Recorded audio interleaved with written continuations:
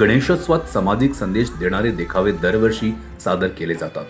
अनेक मोठमोठे सार्वजनिक मंडळ हे कार्य करतात. मात्र आता घरगुती गणपतीही आपल्या देखाव्यातून सामाजिक प्रश्नांवर भाष्य करीत आहेत. मनसेचे विभाग अध्यक्ष माऊली थोरवे यांनी इर्शालवाडी दुर्घटनेनंतर मुंबई आणि राज्यातील डोंगराळ वस्त्यांचा लक्ष वेधण्याचा प्रयत्न केला आहे. घरातील गणपतीची मूर्ती देखील अशा डोंगराळ वस्त्यांना करंगळीवर घेऊन तारते आहे अशी साकारण्यात आली आहे. मुंबईमधील डोंगराळ भागातील झोपडपट्ट्या असो की राज्यातील डोंगराळ असलेले आदिवासी पाडे दरवर्षी येथे अपघात घडून अनेकाचे जीव जातात. मात्र प्रशासन आणि सरकार याकडे लक्ष देत नाही. यामुळे गणपती बाप्पानेच आता प्रशासनाला आणि सरकारला सद्बुद्धी द्यावी आणि महाराष्ट्रात मनसे अध्यक्ष राज ठाकरे यांना मुख्यमंत्री करावे असे साकडे मनसेचे विभाग अध्यक्ष माऊली तोरावे यांनी घातले आहे. महाराष्ट्रात यावर्षीच नाही अनेक वर्षापासून अशा दुर्घटना घडत आहेत.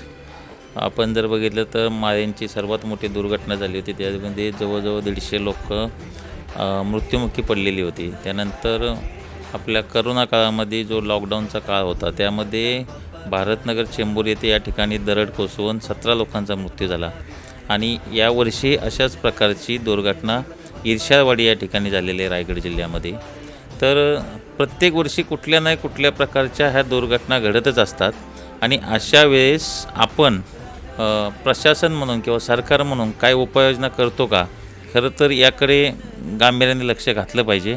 दुर्घटना झाल्यानंतर तिथं मदतकार्य बचावकार्य करणं हे सरकारचं कर्तव्य आहे.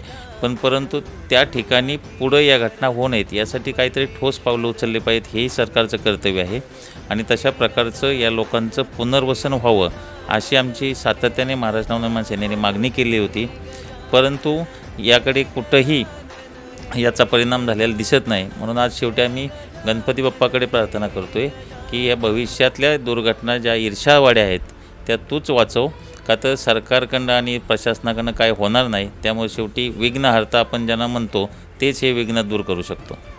आत्ता सरकारने जर ह्या झोपड्यांचं जर पुनर्वसन केलं नाही किंवा स्थलांतर केलं नाही तर पुढच्या पावसाळ्यात देखील प्रत्येक वर्षी ह्याच घटना घडत राहणार आहेत. त्यामुळे आम्ही गणपती बाप्पाला हीच प्रार्थना करत आहे की या लोकांचं संरक्षण करायचं असेल तर हे सगळे डोंगरासारखे हे पर्वत झोपड्यांसहित ह्या लोकांचा त्यांनाच हातात घ्यायला लागेल. तेव्हा कुठेतरी यांचं संरक्षण होईल. नाहीतर प्रत्येक वर्षी कुठल्या ना कुठल्या दरड कोसळत राहतील आणि हे मृत्यू पडण्याचं हे लोकांचं प्रमाण हे वाढतच जाणार आहे कमी नाही होणार. आणि माझी महाराष्ट्र राज्याचे मुख्यमंत्री माननीय एकनाथ शिंदेसाहेब उपमुख्यमंत्री फडणवीस साहेब असतील अजितदादा असतील यांना खास करून पुन्हा एकदा विनंती आहे की या झोपड्यांचं कायमस्वरूपी स्थलांतर हे झालं पाहिजे. मुंबई शहरामध्ये अनेक ठिकाणे आहेत. चेंबूर असेल लाल डोंगर असेल पार्क साईड असेल जोगेश्वरी मालाड अँटॉप हिल अशा ठिकाणी जे झोपडे झोपड्या आहेत त्यांचं स्थलांतर करावं. आपण जर कोकणामध्ये मान्य माननीय राजसाहेब ठाकरे दोन महिन्यापूर्वी गेले होते. त्या ठिकाणी दरड कोसळण्याच्या घटनांमध्ये घटनांबद्दल त्यांनी भाष्य केलं होतं. आणि त्यानंतर काही दिवसातच ईर्ष्यावाडीची घटना झालेली आहे. तर मी गणपती बाप्पाकडे अशीही प्रार्थना करतो आहे की या महाराष्ट्र राज्याला मान्य राजसाहेब ठाकरे यांच्यासारखं दूरदृष्टी असलेलं नेतृत्व खरं लाभलं पाहिजे जेणेकरून या भविष्यातल्या दुर्घटना किंवा भविष्यातला नवनिर्माण महाराष्ट्र हे मान्य राजसाहेब ठाकरे हे घडवतील ज्या मान्य राजसाहेब ठाकरे यांनी दहा वर्षापूर्वी या महाराष्ट्राला एक विकासाचा आराखडा दिलेला आहे. आपण त्याला ब्ल्यू प्रिंट म्हणतो. त्यांच्याकडे खरंच दूरदृष्टी आहे आणि त्यांना जर या महाराष्ट्राचं नेतृत्व लाभलं तर खरोखरच या महाराष्ट्राचं भविष्य उज्ज्वल असेल.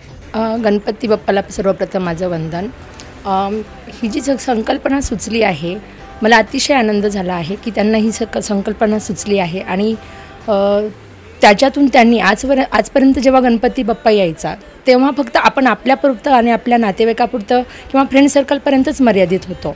यावर्षी नक्कीच मी असं समजेल की ही काहीतरी ईश्वरी संकेत असेल की त्यांच्या मनात ही कल्पना आली आणि त्यांनी ही जी झोपडपट्टी पुनर्वसन किंवा ही जी काही घटना घडली होती दुर्घटना आणि तो दृष्टिकोन लक्षात घेऊन कदाचित माझ्या मते असं आहे की हे एक ईश्वरी संकेत म्हणून ही संकल्पना आली पुढे आहे. माझी सरकार स गव्हर्मेंट सरकारला एवढीच विनंती आहे की जसं गणपती बाप्पा किंवा ह्या मुंबई मायानगरीमध्ये येऊन प्रत्येकजण आपल्या पोटापाण्यासाठी येतो व आपला तो उ- उदरनिर्वाह कसा तरी फुटपाथवरती सुद्धा तो राहतो. मी गणपती बाप्पाला माझ्या वतीने हे सगळे टाकेल की या मुंबई नगरीमध्ये जे पण कोणी येईल त्याला एक तू घरकुल जशी सिस्टीम निघाली किंवा शौचालय सिस्टीम त्या पद्धतीतून प्रत्येक जणाला तू निवारा दे. ॲक्च्युली बघा ना बघतानीच एवढं जर भयानक वाटतं आपल्याला आपण फक्त चित्र इथे प्रदर्शित केलं आहे. जर आपण स्वतः जर आपण आपण प्रत्येक जणांनी असं त्या जागेवर ठेवून बघितलं तर तुम्ही विचार करा. जर आपल्यासोबत भविष्यात असं झालं तर काय होईल?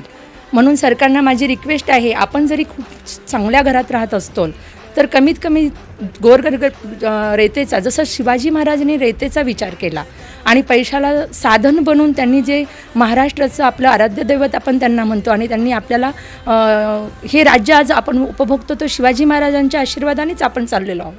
कुठेतरी दूरदृष्टिकोन जर राजसाहेबांच्या या माध्यमातून येत असेल तर का नाही संकेत समजावा हा ईश्वराचा? आज आपण बघतोय आपल्या भारतामध्ये किंवा विश्वामध्ये आश्रमसुद्धा खोलण्याची वेळ आली आहे. फक्त ही दुर्घटनाच नाही. अवका का आश्रम खोलले जातात? अनाथ आश्रम आहेत किंवा दिव्यांगासाठी शिवाश्रमासारखे आश्रम आहेत कशासाठी?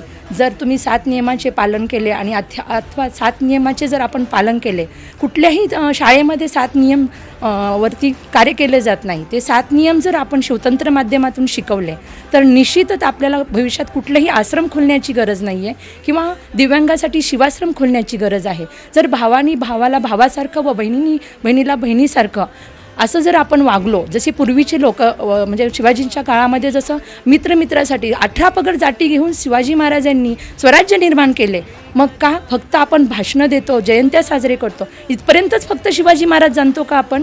माझी रेते जनतेला कळकळीची विनंती आहे की प्लीज जागे व्हा नाही तर येणारा काळ हा खूप भयानक असेल आणि तेव्हा तुम्हाला विघ्नहर्तासुद्धा वाचवायला येणार नाही. जय हिंद जय भारत.